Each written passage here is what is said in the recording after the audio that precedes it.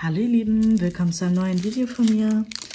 Ja, es geht wieder weiter an diesen super süßen Häschen zum Aufhängen. Und gerade hier die Folie runterpulen.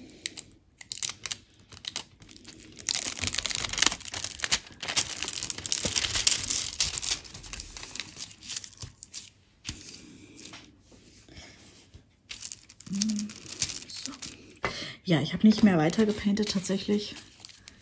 Die Woche war irgendwie, ja, voll. Und ich bin nicht wirklich zum Painten oder zu sonst irgendwas großartig gekommen. Deshalb machen wir da jetzt weiter. Ich habe tatsächlich auch immer noch nicht, soll ich mal ein bisschen drehen, so, meine Osterdeko aufgehangen. Schande über mich. Also ich muss mal schauen, dass ich dieses Wochenende endlich meinen Osterkranz raussuche und dann auch aufhänge.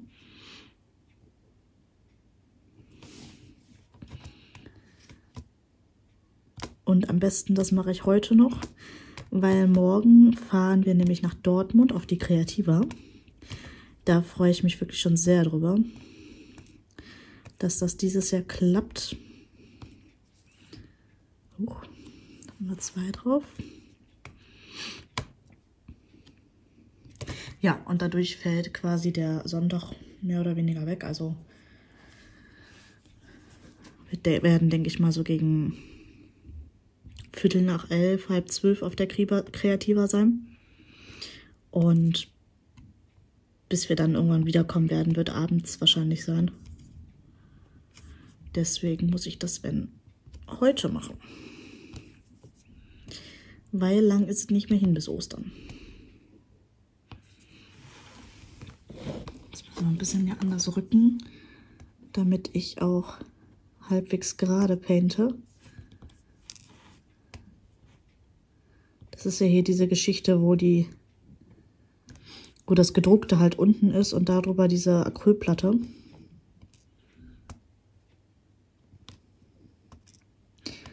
Und das auch alles hier klebt. Das habe ich euch im letzten Video auch gesagt, als ich das angefangen habe zu painten. Das hat leider alles klebt, ne? Also das hier komplett klebt auch. Das muss alles gut versiegelt werden, wenn es fertig ist. Ich hoffe, ich habe überhaupt noch die Chance, das dieses Jahr aufzuhängen, dass ich hier fertig werde. Weil heute habe ich auch nicht mehr so viel Zeit. Ich habe noch ein bisschen was im Haushalt zu tun. Und wir haben tatsächlich schon 4 Uhr. Und ich muss mir auch noch überlegen, was ich kochen möchte. Na. Na, gibt's das denn? Da wollen die einfach nicht auf meinen Stift hier drauf. Muss ja mal ein bisschen formen gerade.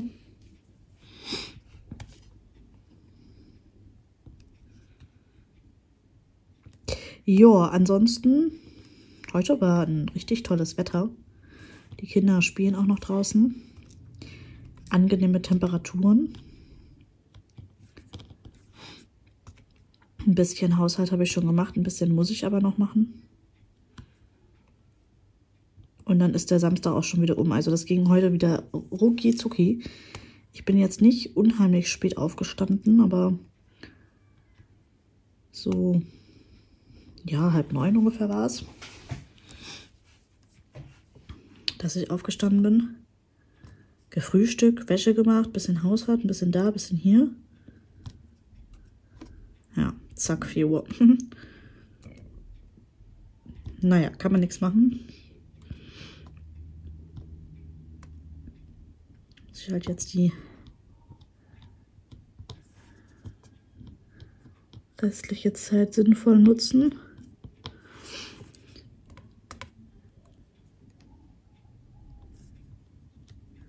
Ja, ich versuche ein bisschen mitzufilmen morgen. Ich hoffe, das klappt. Also ich muss ja schon ehrlich sagen, dieses, dass das hier komplett klebt, das stört mich ja schon, ne?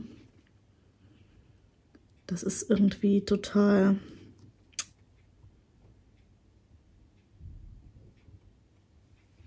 blöd halt.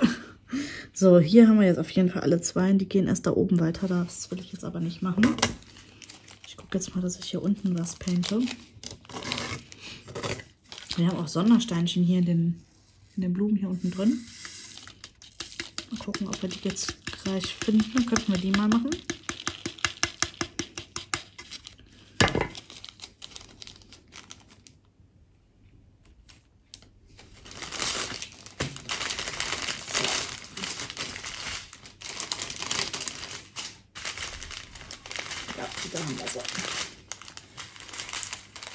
Das doch alles Sondersteinchen hier. Ich muss mal gerade schauen, das ist die 19, die können wir auch mitpainten. Können wir mal zuerst machen.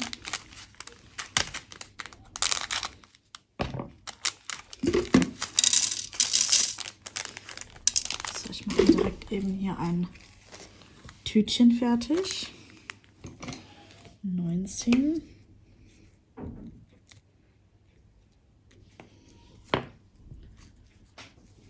So. Dann schauen wir mal. Hier oben haben wir auch 19. Ich überlege gerade, machen wir die jetzt mit oder nicht? Ja. Die könnten wir jetzt mal eben mit.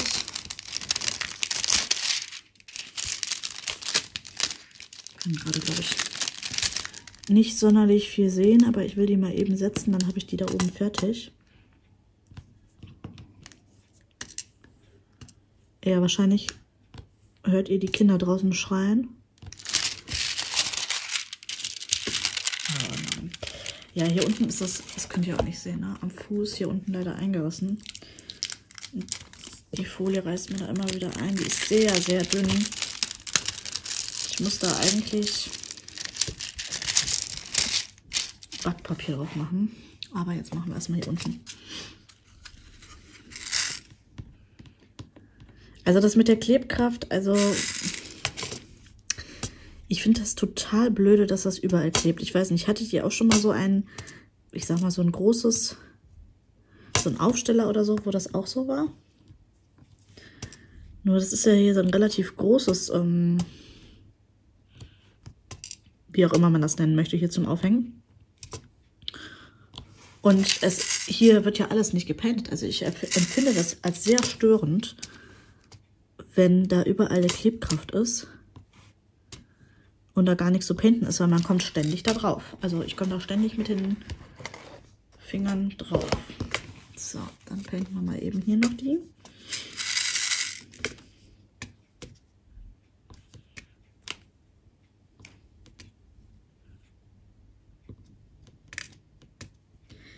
Aber das Motiv ist wirklich wunder, wunderschön. Das gefällt mir richtig gut. Es gab ja, glaube ich, noch eine andere Sache oder einen so einen Aufsteller, da habe ich überlegt. Aber dann habe ich mich doch dann hierfür entschieden. So, und es sind auf jeden Fall genug Sondersteine dabei. Also wir haben jetzt alle fertig und die sind noch dabei. Also auf jeden Fall ausreichend. Die werde ich auch wieder zusammenkippen und werde die dann, wenn alles fertig ist, mit den Strasssteinen an meine Freundin schicken. Die freut sich immer darüber. So, und dann machen wir die 20. Dann machen wir aber auch erstmal hier.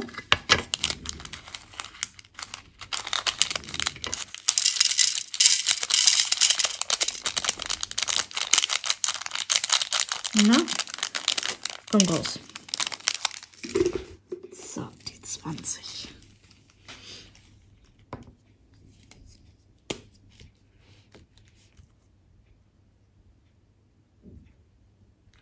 Ja, ansonsten der übliche Wahnsinn. Wie gesagt, die Woche habe ich es leider nicht geschafft, hier meine Osterdeko zu machen oder hier dran weiter zu penden. Ich muss aber auch sagen, dieses Wetter, dieses Grau in Grau, was wir eigentlich die ganze Woche über hatten. Wie gesagt, heute ist jetzt der erste Tag, wo es mal wieder ein bisschen besser war oder gestern auch, aber im Grunde die ganze Woche irgendwie äh war. Und man null motiviert ist und super müde. Und eigentlich... Oh Gott. Oh nein. Oh Gott, ich kriege das gar nicht runter. Doch jetzt. Und jetzt, ich weiß nicht, aber das kann man, glaube ich, nicht in der Kamera sehen. Man sieht jetzt total... Doch, hier sieht man es ein bisschen. Diesen Abdruck, dass es da drauf war. Naja, jedenfalls diesen, diesen Grau in Grau Ton draußen und man eigentlich super unmotiviert ist und gar keine Lust hat, irgendwas zu machen. Das hatte ich irgendwie die ganze Woche. Ich war auch sehr müde die ganze Woche über. Und war absolut froh, dass einfach Wochenende ist. So, das sieht doch richtig hübsch aus, ne? Das machen wir auf der Seite jetzt auch. Da oben haben wir das nicht. Ich muss gerade mal gucken. 18 haben wir hier in den Eiern jeweils drin. Okay, und da oben auch.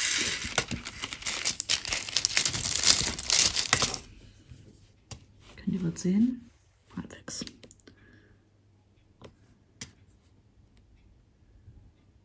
Ich bin mir gar nicht sicher, ob ich so lange, Tropfen sind es ja nicht, aber so lange schon mal hatte, Sondersteinchen hier. Bin ich mir gar nicht so sicher.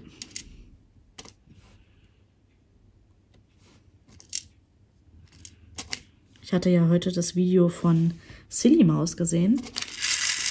Sie hatte eine Kooperation, ich glaube mit One Day Sailing war es, und hatte sich ein Teilmotiv ausgesucht mit, ich meine, das waren Strass, Strass und Sondersteiner.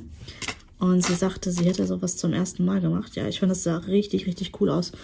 Also ich mag solche Teilbilder mit Strass und Sonder zwischendurch immer mal sehr gerne. Ich habe da schon einige von gepainted. Oder so Mandalas mag ich auch gerne. Ich finde immer, die machen ein bisschen was her mit diesen Sondersteinen. So, die haben wir auch. Dann können wir die auch schon umfüllen.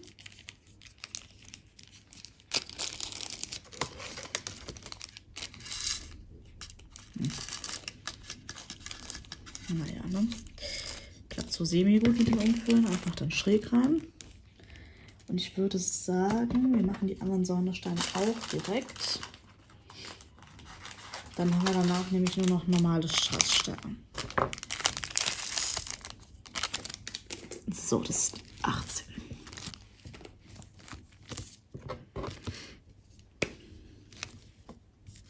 Ja, ansonsten bis auf Haushalt habe ich heute so einen bisschen entspannteren Tag, ein bisschen ruhiger, irgendwie die Woche ein bisschen abklingen lassen.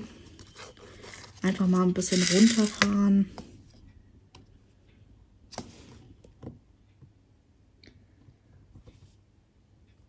Bei mir ist halt immer so, dass ich am Wochenende quasi auch immer das alles nachhole, was ich halt unter der Woche auch nicht gemacht habe. Ne? Also aufräumen, Haushalt und so. Und dadurch, dass ich das jetzt alles quasi heute machen muss, weil ich da halt morgen keine Zeit für habe, ist es halt so, dass ich dann halt auch nicht dann so viel zu den Hobbys komme. Ne? Ich hätte gerne heute hier viel mehr dran gepaintet. Aber ich schaffe das halt zeitlich nicht. Und ich möchte heute unbedingt mein Seitenfinish beim Aslan schaffen. Da fehlen mir nämlich jetzt, glaube ich, noch 13 rein. Und das möchte ich sehr, sehr gerne heute noch machen. Und was ich ja auch noch nicht gemacht habe, ist das Osterbild von der Niki. Von Nikis Zauberecke habe ich ja auch noch Sondersteinchen. Ja. Das habe ich leider auch noch nicht fertig gestickt. Das hätte ich so gerne aufgehangen, aber das schaffe ich jetzt auch nicht mehr. Aber ich werde schauen, dass ich das auf jeden Fall vor Ostern noch fertig sticke.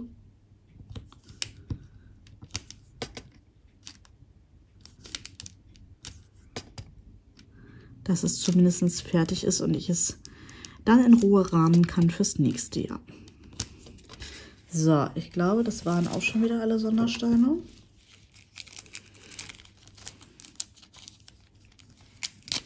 Also hübsch ist das Motiv hier auf jeden Fall. Es gefällt mir richtig gut mit diesem Häschen. Und dann machen wir die, die 1.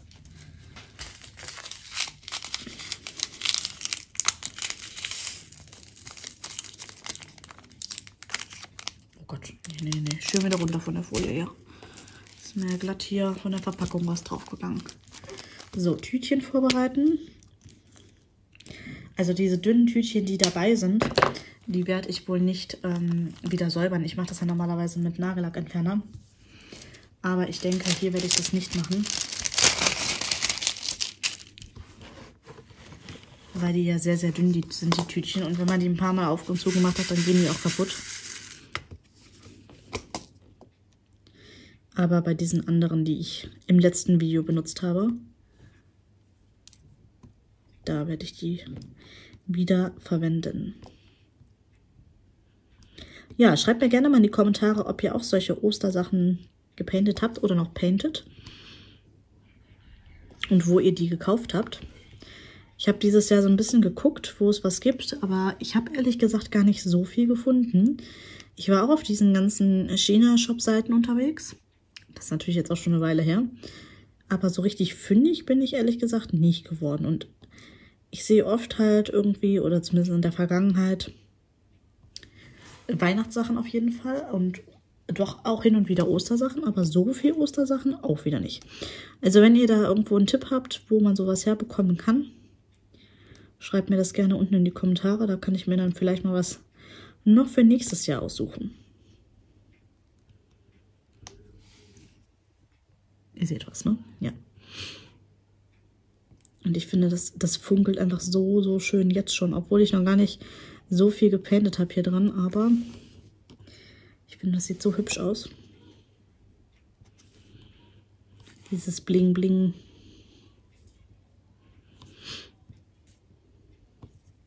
So.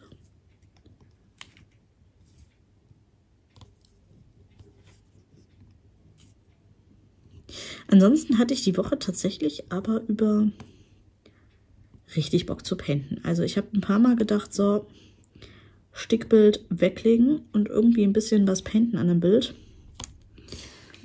Habe ich dann aber trotzdem nicht.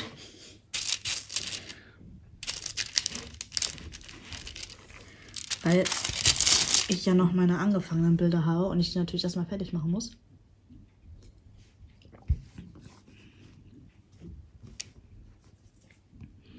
Und ich jetzt auch nichts Neues anfangen will, zumal ich ja halt auch keinen freien Koffer oder irgendwas habe, wo ich dann das reinsortieren kann. Ja, mal gucken. Ich hoffe ja, dass ich allergiebedingt dieses Jahr etwas mehr painten kann als letztes Jahr, weil das war letztes Jahr echt blöde. Meine Allergiesaison hat ja auch schon angefangen seit Januar. Und dann kann ich halt kaum painten, weil mir wirklich permanent die Nase läuft und ich die ganze Zeit nur immer Taschentücher rausholen muss. Und dann macht Painten einfach keinen Spaß. Das ist einfach so. Also, weiß nicht, äh, wem es dann noch so geht wie mir. Ob das bei euch auch so schlimm ist, dass ihr dann auch nicht painten könnt.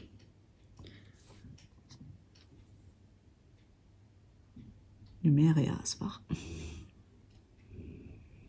Die hat so eine Wurzel bei sich drin, die eigentlich quasi so eine Art Übergang darstellt vom Einstreu Richtung Sandbad, aber sie hat ihr Sandbad so zugeschüttet, die geht nicht baden. Die mag das nicht. Und da war sie gerade dran am Nagen. Und jetzt ist sie am Suchen und jetzt hat sie einen Haken geschlagen und weg ist sie. Kleine Maus. Und jetzt sich wieder ausgiebig kraulen lassen von mir heute. Habe ich übersehen?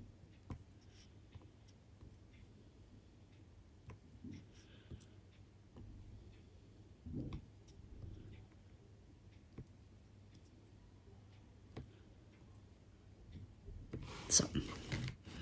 Also wir werden hier noch eine ganze Weile beschäftigt sein. Ich äh, ja, befürchte, ich werde hier gar nicht fertig mit bis Ostern. Wäre nur irgendwie schön, wenn es so um Ostern einfach fertig wäre, dass ich zumindest vielleicht zwei Tage aufhängen kann. Also das wäre ganz nett.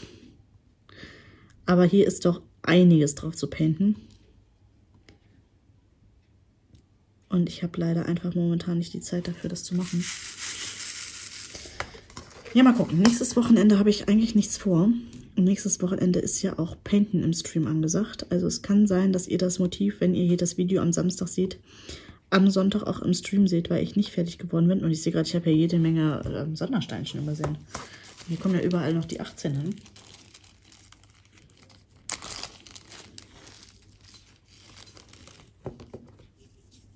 Ich habe jetzt leider auch kein weiteres Schiffchen hier. Die sind alle drüben.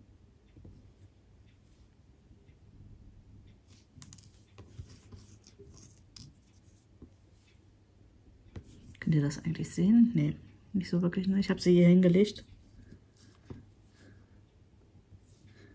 Weil ich jetzt hier kein Schiffchen habe zum reinschütten noch.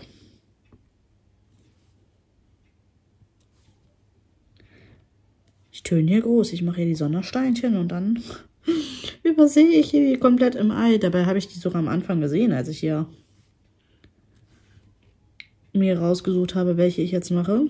So, 4, 5, 6, 7 haben wir noch.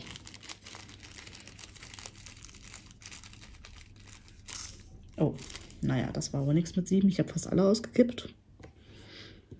Also auf jeden Fall von denen sind auch genug dabei. Braucht ihr euch keine Sorgen machen, dass die nicht ausreichen würden.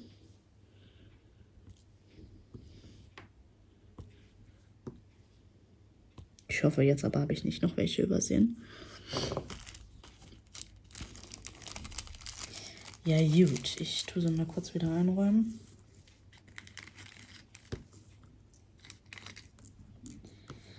Ach, Jemine.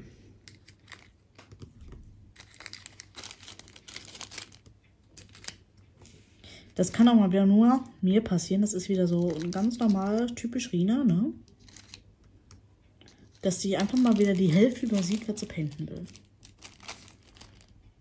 So, jetzt aber. Weiter geht's hier. Ich finde, sieht aber sehr, sehr schön hier aus. Also ich liebe ja sowieso Glitzer, Funkeln. Das ist ja absolut meine Welt. Diamonds are a girl's best friend. Und wenn ich dann hier noch so Strasssteine drin habe, das wirkt immer einfach so, so schön. Mega.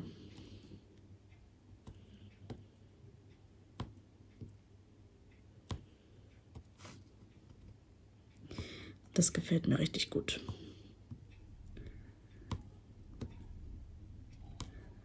Und dann mal gucken, was wir danach painten. Ich glaube, dann habe ich ja soweit diese, ja, solche Sachen halt abgearbeitet, was ich jetzt hier gekauft habe. Ich habe ja immer noch den Nussknacker oder die Nussknacker hier liegen. Die werden wir natürlich auch weitermachen, auch wenn jetzt kein Weihnachten und kein Winter mehr ist. Aber ich möchte das Bild ja gerne nächstes Jahr Weihnachten aufhängen.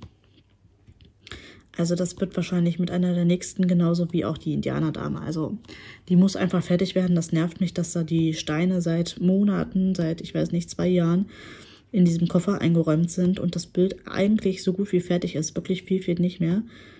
Da ist halt noch ein Streifen, ich weiß nicht, vielleicht ist der noch zu hoch oder so, den ich noch machen muss. Und dann ist das Bild auch endlich fertig.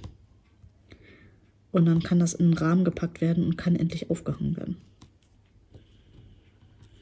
Also das ist so das Nächste, was ich machen werde. Vielleicht sogar die Indianer-Dame zuerst, weil die halt viel fortgeschrittener ist und dann ist endlich dieser Koffer leer. Cameroon wartet ja auch noch auf mich. Also das sind jetzt die Projekte, die wir dann als nächstes mit abschließen.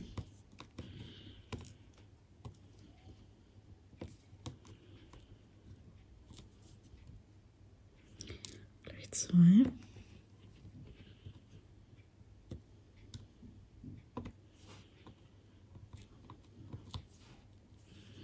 Also Klebkraft ist wirklich gut, da kann ich nichts sagen, das ist in Ordnung. Aber diese Klebkraft über das gesamte Projekt, das finde ich nicht gut. Und ihr könnt es auf gar keinen Fall offen liegen lassen und ihr seid auf jeden Fall auch gezwungen, das zu versiegeln. Also nicht versiegeln ist gar keine Option. Einfach weil, wenn da ein bisschen Staub drauf kommt, ihr das alles auf der Klebefläche habt und ihr das dann nicht mehr abbekommt. Also wenn ihr jetzt welche seid, die normalerweise nicht versiegeln, ich, ich weiß, ich kenne ganz viele Leute, die versiegeln zum Beispiel äh, keine Bilder und auch keine Karten oder sowas und auch keine Sticker, sondern ähm, wirklich nur so spezielle Sachen wie Schlüsselanhänger oder sowas. Hier müsst ihr auf jeden Fall versiegeln. Weil sonst habt ihr das alles hinterher staubig oder Dreck drauf oder so. Und dann sieht das nicht mehr so schön aus. Und gleich den ganzen Stein hier falsch schon drauf geklebt. Also ich würde sagen, das Eichchen hier machen wir noch fertig.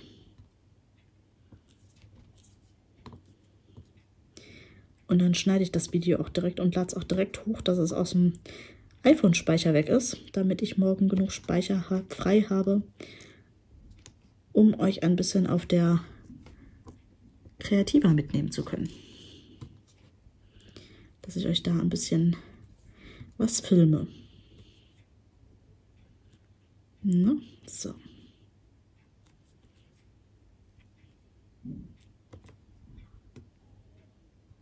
Aber es sieht schon klasse aus. Also mir gefällt es richtig gut. Und es funkelt so, so toll. Kann die Kamera natürlich mal wieder nicht so einfangen, wie sie sollte.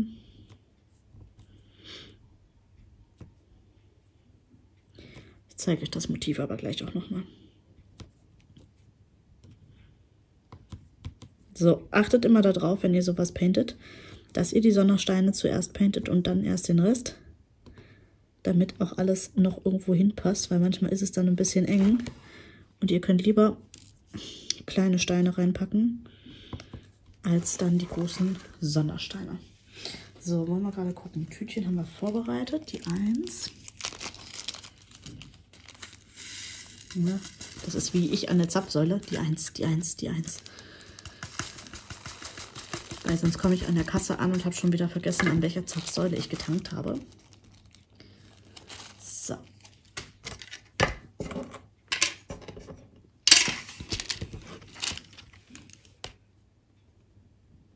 Das funkelt so, so schön. Ich mache das mal eben zu, damit mir hier nichts weiter vollstaubt. Mal eben hier noch gucken. Hier ist nämlich ein bisschen schräg.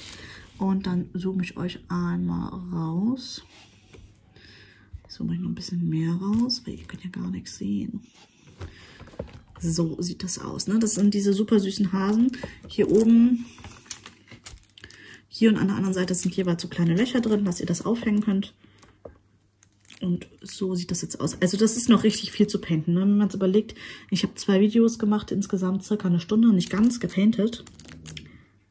Ähm, ja. Also hier alleine noch oder auch hier und die Hasen da oben, das ist noch einiges zu machen. Ja, es wird wohl nicht fertig dieses Jahr, aber das ist nicht schlimm. Das kann man ja jedes Jahr aufhängen und ich finde das einfach super, super niedlich. Also das sieht so hübsch aus. Ich fand das so schön, als ich das bei Teenie Schnickschnack gesehen habe. Und das musste ich einfach haben. Ja, meine Lieben, wenn euch das Video gefallen hat, lasst mir gerne einen Daumen nach oben da. Lasst mir gerne Feedback in den Kommentaren da. Und dann würde ich sagen, sehen wir uns beim nächsten Mal. Tschüss, ihr Lieben.